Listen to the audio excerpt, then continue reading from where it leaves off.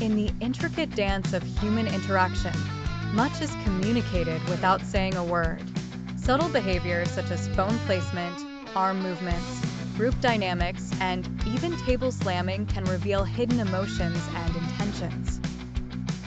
Understanding these nonverbal cues can provide a deeper insight into the true mindset of individuals, enriching our interpersonal relationships and enhancing our ability to empathize and respond effectively.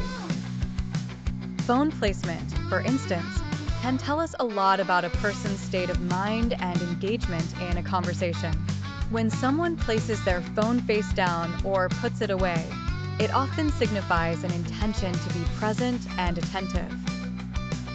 Conversely, placing the phone face up or repeatedly checking it can indicate distraction, disinterest, or a preoccupation with other concerns. This seemingly small action serves as a barometer for measuring the level of priority someone gives to the interaction at hand.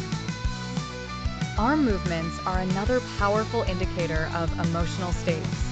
Crossed arms can signal defensiveness, discomfort, or resistance, while open and relaxed arm positions often denote openness and ease. Subconscious gestures, like touching one's face or playing with hair, can indicate nervousness or uncertainty. These nonverbal cues are invaluable for gauging how someone truly feels beyond their spoken words.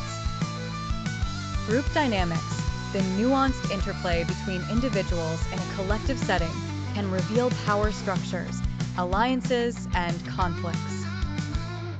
The way people position themselves in relation to others who they choose to sit or stand next to, and whom they make eye contact with can all offer clues about their social relationships and underlying tensions. For instance, someone who consistently positions themselves at the head of the table might be exerting dominance, while those who cluster together may share common interests or support each other. A dramatic gesture like table slamming, though more overt, is a powerful expression of frustration, anger, or a desperate need to be heard. This act often follows a buildup of unexpressed emotions and signals a breaking point. Observing such an action requires immediate attention to address underlying issues and facilitate effective communication. By paying attention to these subtle and not so subtle behaviors, we can better navigate the complexities of human interactions.